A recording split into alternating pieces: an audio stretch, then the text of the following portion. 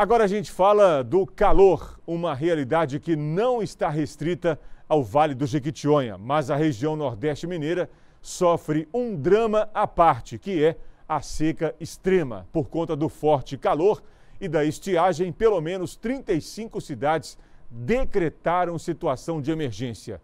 E para socorrer a população, a Defesa Civil Regional distribui cestas básicas.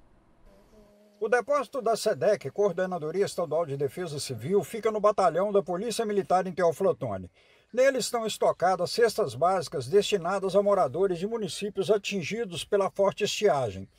A agente regional da Defesa Civil diz que a situação do Nordeste Mineiro é crítica.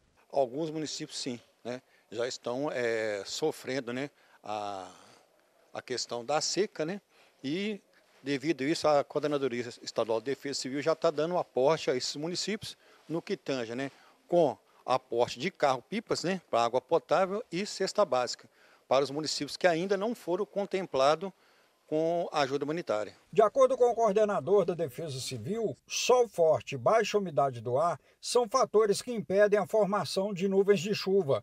Na verdade, nós já estamos no período chuvoso, porém, nós estamos ainda sofrendo né, o, o resultado da seca. Nós temos previsão de chuvas é, para o final de outubro, para a região aqui, né, podendo ter chuvas espaçadas. O depósito da Coordenadoria Estadual de Defesa Civil em Teoflotone, a SEDEC, atende rotineiramente 60 municípios do Nordeste Mineiro, mas de forma temporária está atendendo com ajuda humanitária 15 municípios da região norte do estado.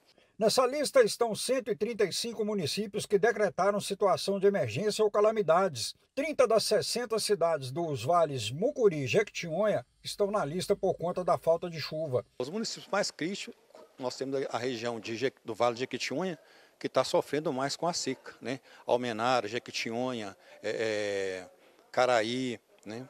essa região sofre mais essa situação da seca. E no galpão não estão guardadas somente cestas básicas. Agindo preventivamente, a área aguarda colchões e roupas, recursos para socorrer os atingidos uma possível chuva no final do ano. Para ajudar os municípios em caso de emergência, foram realizados em Teoflotone dois cursos. Um a integrantes de comissões municipais de defesa civil de prefeituras, outro aos militares que trabalham nas cidades. Os municípios já foram todos é, capacitados para estar é, fazendo a decretação da situação de emergência ou calamidade pública. Né? Também já foram orientados com relação é, o, à inserção da documentação necessária no sistema onde vai ser é, solicitado recurso para o apoio ao município.